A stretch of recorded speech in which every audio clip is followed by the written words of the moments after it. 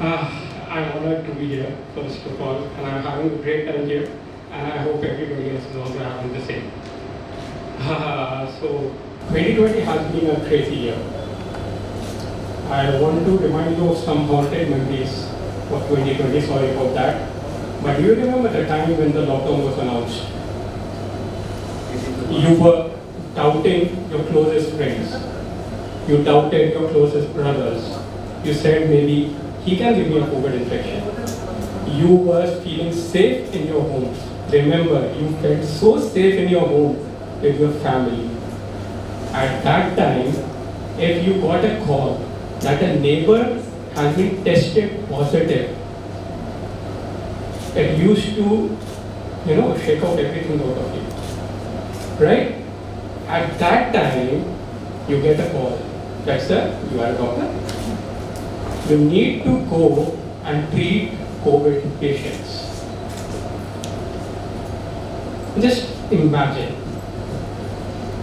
I'm, uh, I belong to a surgeon family. My father is a surgeon. My mom is a gynecologist. My wife is a gynecologist.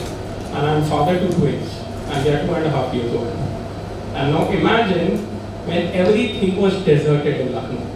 You need to step out of your home, the safest cocoon, and you need to walk to the hospital without caring whether the patient you're going to attend is a COVID positive or not.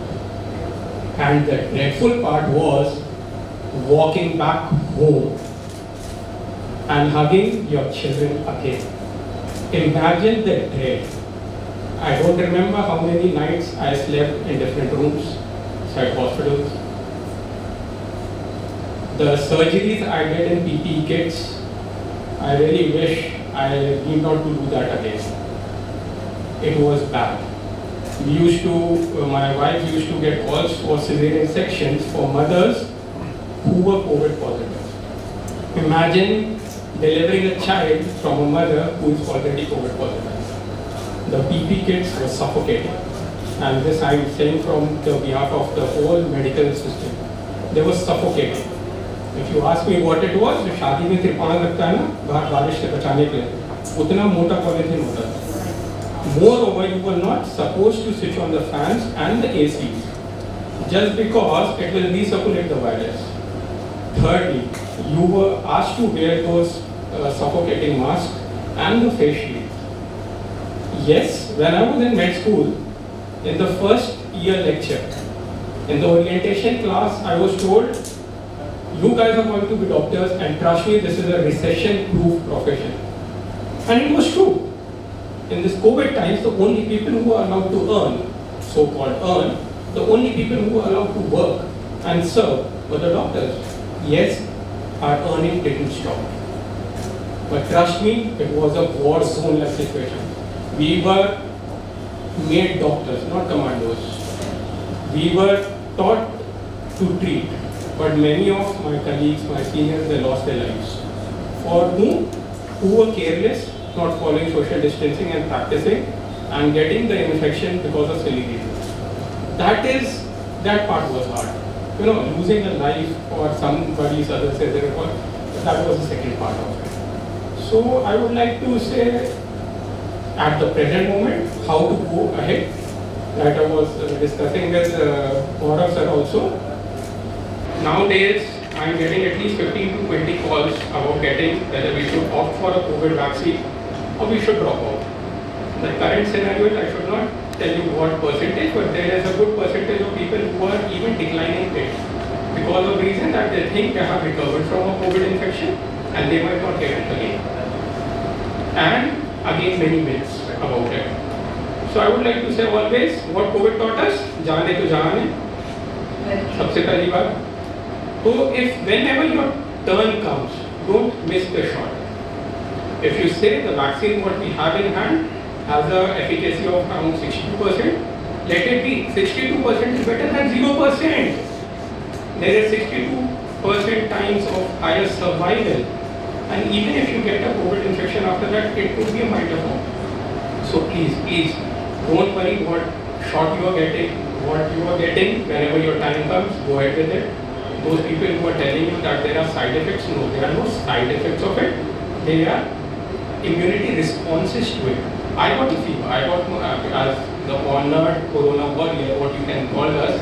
I got I have received my both shots, and after both the shots, I had fever.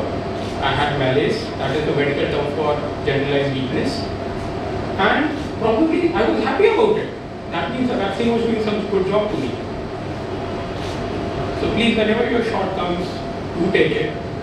And uh, again, something very related to the topic, a major uh, change that came to the medical uh, fraternity, which was long pending, was that it was made legal by the Supreme Court that now the uh, what you can get the OPD can be done on online basis.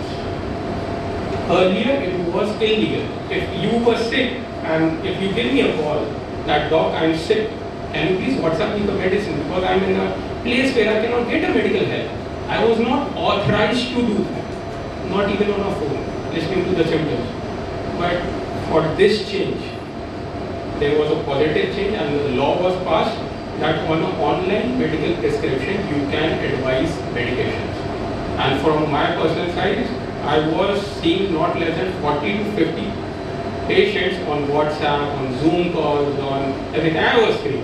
So I was treating them and it was tough. It was tough to hear that people are in pain, they want to meet you and because of the restrictions you are not able to do it. We were not allowed to operate much.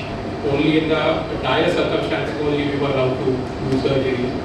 So the time was tough.